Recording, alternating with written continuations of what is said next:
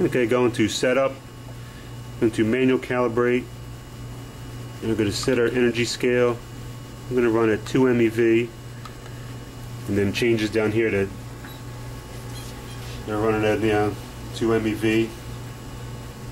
Another thing we're going to do, they have a drop down menu for, we're going to use Cobalt 60. Uh, type, uh, 60, uh,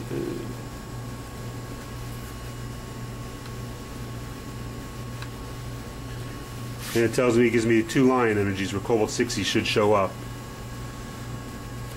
So now I'm going to go to cobalt 60 source and then we'll start running it then we'll calibrate it into that range. So pretty much this little uh, Christmas tree or stop sign green yellow says stop start acquisition. That our peaks are not lined up correct not calibrated. So go to the amplifier tab. You have two choices coarse gain and fine gain coarse gain is going to give you a big jump. It'll move it way below the peaks. So we're going to go to fine gain.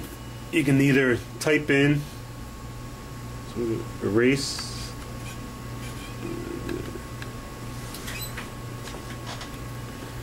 we'll try 1.4.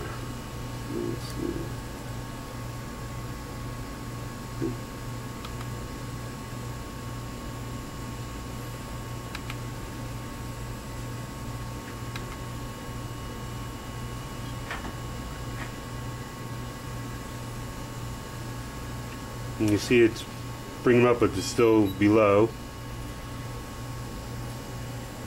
Still too high, so we'll readjust it again.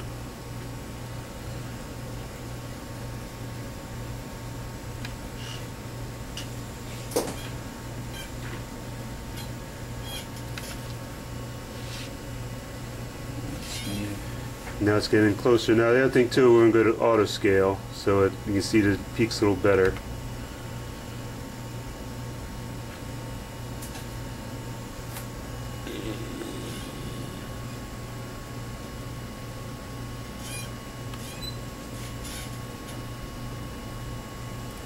So just expand it out